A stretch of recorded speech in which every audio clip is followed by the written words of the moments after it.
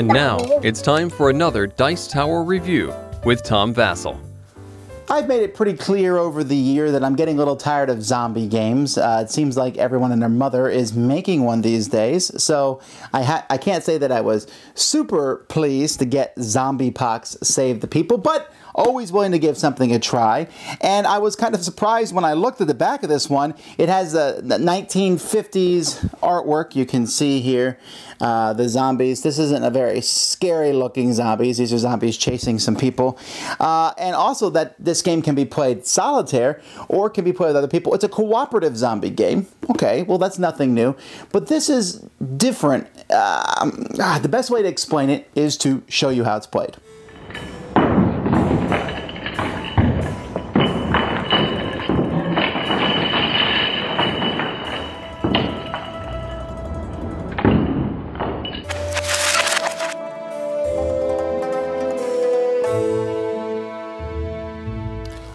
Right, so here's the game, which takes place on a large, I call these mouse pad mats, okay, rubber mats here.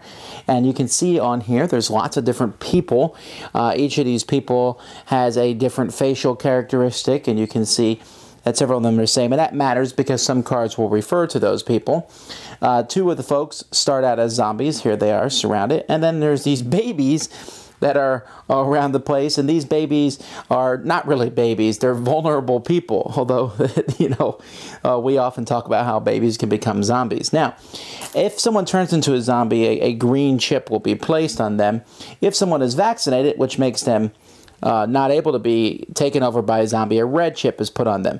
It's a little odd. I understand that green uh, means zombie, but red seems like an odd choice for being vaccinated because you would think that red is a bad. It usually is in games.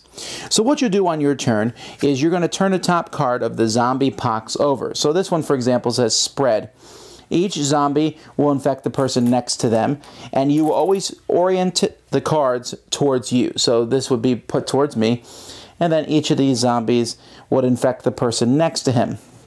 Unless, of course, that person was vaccinated, and then they would be fine.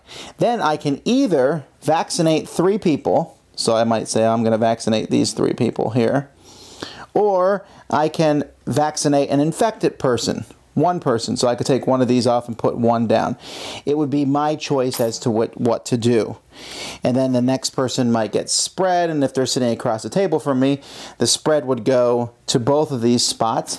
So the, these two would be infected, as would be these two and this person here, because the infected people will continue to spread and then they would also have the same opportunity that I did to put down three of the red chips or to replace a green chip with a red chip.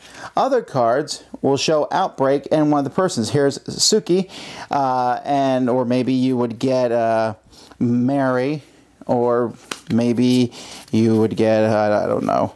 Uh, there's uh, here's Jeff. We always laugh when Jeff gets bit. I don't know why.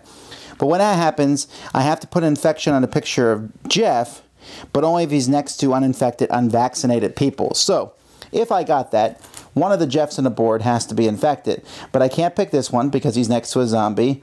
And I can't pick this one because he's next to a zombie. And if there was a vaccinated person, I couldn't put him next to that vaccinated person either. So somewhere, if there's a Jeff. Now it's possible, as especially as the game comes to near the end, that there is no legal place to put that. At that point, you can breathe a sigh of relief.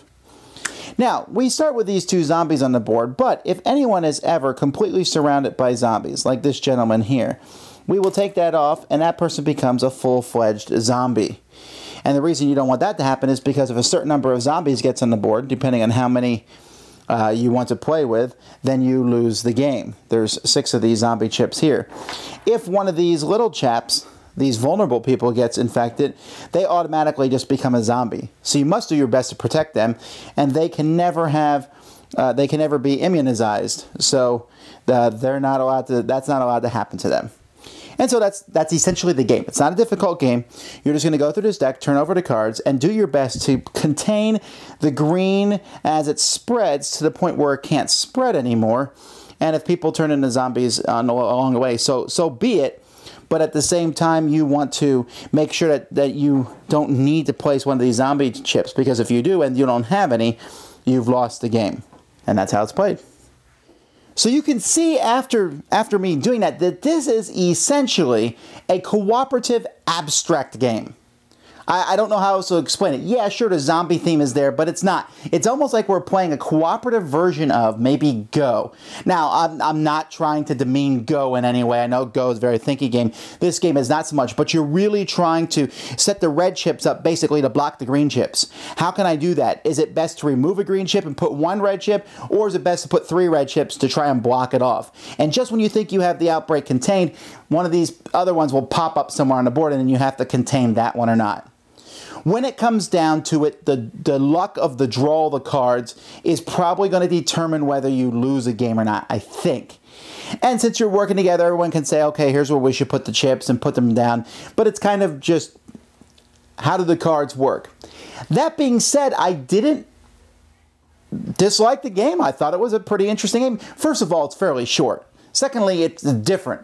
I didn't feel like this, ah, get the shotgun, go out and blow zombies. And if that's what you're looking for, then don't get this because that is not the feel of this game at all. It, this game is more of a puzzle type game, and I could this could have been a, a game of chicken pox for for all that the, the, the theme puts into the game, or you know stop the spread of of robots or or whatever. You know it, it could have been anything, but essentially it's just you know how are we best going to contain these red chips as they grow, keeping them away from the vulnerable people and such. And there, you'll play games of this where you just lose. There's nothing you can do about it. The, the way the cards turn over, zombies show up very quickly. You can't protect people fast enough, and, and that's fine because it's a quick game.